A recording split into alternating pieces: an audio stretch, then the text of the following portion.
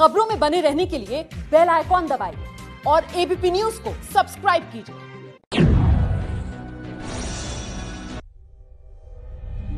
गोवा के मुख्यमंत्री मनोहर पर्रिकर का तिरसठ साल की उम्र में निधन। पणजी के अपने घर में ली अंतिम सांस। पिछले डेढ़ साल से पैनक्रियाटिक कैंसर से जूझ रहे थे मनोहर पर्रिकर। वो शनिवार रात से ही लाइफ सपोर्ट सिस्टम पर थे। राष्ट्रपति कोविंद पीएम मोदी और कांग्रेस अध्यक्ष राहुल गांधी समेत कई नेताओं ने मनोहर पर्रिकर के निधन पर दुख जताया है।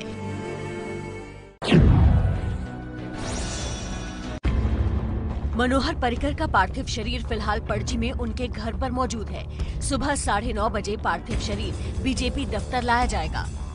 सुबह 11 बजे केंद्रीय कैबिनेट समेत कई बड़े नेता मनोहर पर्रिकर को पणजी की कला अकादमी में श्रद्धांजलि देंगे। शाम चार बजे गोवा के एएसजी ग्राउंड में अंतिम यात्रा निकाली जाएगी और शाम पाँच बजे पर्रिकर का राजकीय सम्मान के साथ अंतिम संस्कार किया जाएगा।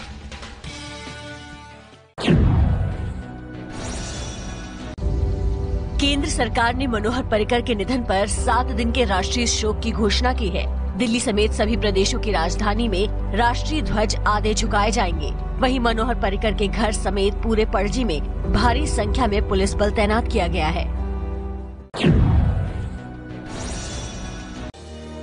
सूत्रों के मुताबिक मनोहर पर्रिकर को फरवरी 2018 में पहली बार पेट दर्द की शिकायत पर जीएमसीएच अस्पताल में भर्ती कराया गया था, जहाँ से मुंबई के लीलावती अस्पताल भेजा गया। शुरुआत में फ़ूड पॉइजनिंग की खबर सामने आई। पीएम मोदी भी 18 फरवरी को उनसे अस्पताल में मिलने पहुँचे थे। इसके बाद पर्रिकर इलाज के लिए अमेरिका गए थे। लेकिन सितंबर 2018 में पर्रिकर ने कैंसर की बीमारी की पुष्टि की।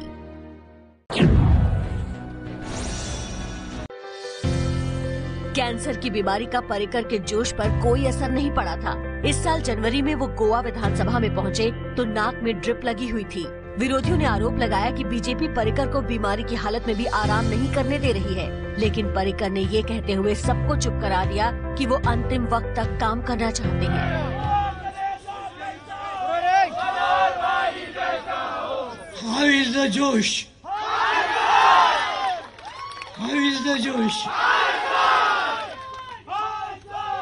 So I, I will transfer my to you. 26 मई 2014 को जब नरेंद्र मोदी ने देश के प्रधानमंत्री पद की ज़िम्मेदारी संभाली तो रक्षा मंत्री पद के लिए मनोहर पर्रिकर जैसी ईमानदार और बेदाग शख्सियत को चुना। पर्रिकर ने 9 नवंबर 2014 को देश के रक्षा मंत्री पद की शपथ ली।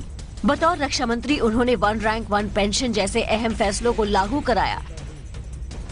बतौर रक्षा मंत्री वो अपने बेबाक बयानों के लिए मशहूर रहे। साल 2017 में गोवा विधानसभा चुनाव के बाद जब बीजेपी को सरकार बनाने के लिए छोटे दलों की ज़रूरत पड़ी तो उन पार्टियों ने परिकर को सीएम बनाने की शर्त रख दी। अगस्त 2017 में पर्रिकर ने तीसरी बार सूबे की कमान संभाली।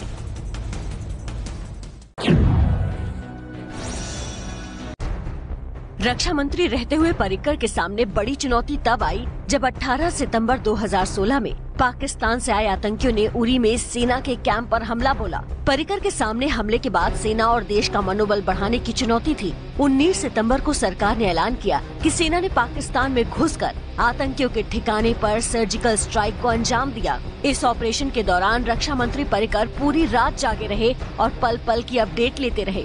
बीजेपी अध्यक्ष अमित शाह ने रक्षा मंत्री मनोहर परिकर को याद करते हुए 2016 में हुई सर्जिकल स्ट्राइक का भी ज़िक्र किया। मोदी जी के नेतृत्व में पहली सर्जिकल स्ट्राइक करने का सवाल हो।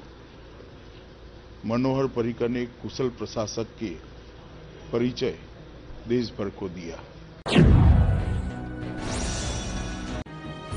मनोहर पर्रिकर बीजेपी के उन गिने चुने नेताओं में शुमार थे, जिन्होंने नरेंद्र मोदी के गुजरात के सीएम रहते हुए उनका जमकर समर्थन किया था।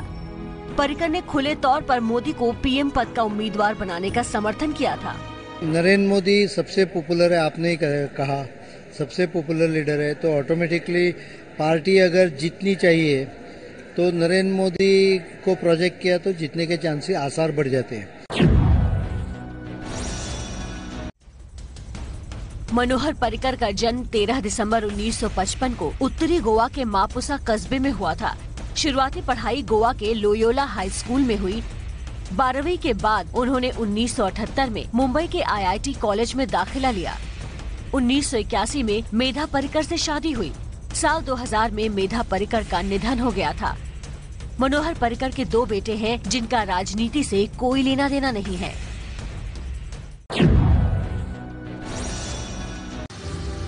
मुंबई आईआईटी ने साल 2001 में गोवा का सीएम बनने के बाद मनोहर पर्रिकर को एलुमनाई अवार्ड से सम्मानित किया था।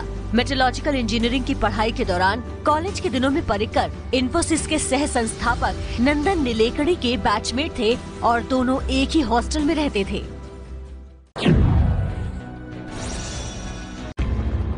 संघ के एक अनुशासित कार्यकर्ता परिकर का आरएसएस से जुड़ाव उनके बचपन के दिनों में ही हो गया था।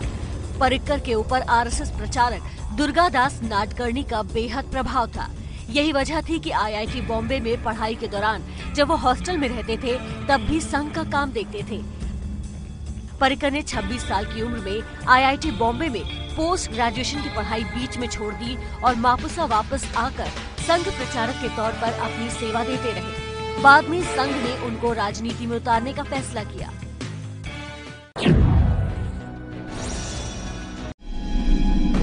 मुख्यमंत्री रहते हुए परिकर आम आदमी की तरह ही ज़िंदगी जीते थे। वो लाल बत्ती में लाव लश्कर के साथ चलने के बजाय जनता के बीच अकेले घूमते फिरते रहते थे। गोवा में उन्हें अक्सर स्कूटी में बैठकर घूमते देखा जा सकता था। यही नहीं, परिकर कभी कभी साइकिल से भी चलते नज़र आ जाते थे। मुख्यमंत्री पद संभालने के बाद भी उन्होंने अपना घर नहीं छोड़ा। अक्सर वो बिना तामझाम के राज्य में हो रहे कामों का जायजा लेने निकल जाते थे। तो कार्ड चीफ मिनिस्टर बोल के ही नहीं।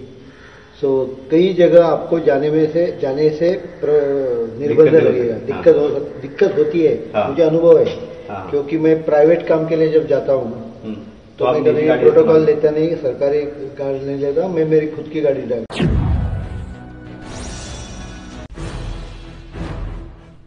मनोहर परिकर ऐशो आराम की ज़िंदगी से कोसों दूर थे। न तो वो महँगे कपड़े पहनते थे और न ही किसी तरह के दिखावे में यकीन रखते थे।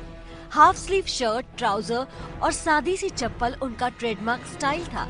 चाहे कोई मीटिंग हो या अपने बेटे की शादी, वो हमेशा ऐसे ही नज़र आते थे। परिकर के बारे में एक चर्चित किस्सा है कि एक बार उन्हें फाइव स्टार होटल के बाहर रोक दिया गया था क्योंकि वो चप्पल पहनकर वहाँ गए थे। बीजेपी नेता शाहनवाज हुसैन ने मनोहर पर्रिकर को अपनी श्रद्धांजलि देते हुए उनकी शर्ट का एक किस्सा सुनाया है। अपने हेलीकॉप्टर में ले गए अपने जहाज़ में ले गए कलाम साहब के अ, की जो उस वक्त उनकी मैयत थी उनको साथ में हम लोग लेकर गए।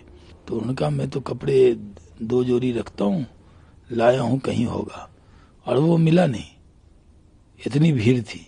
आखिर रात में कहीं पर उनके लिए कोई शर्ट तलाशी गई दूसरे दिन के लिए। मनोहर पर्रिकर कितना सादा जीवन जीते थे।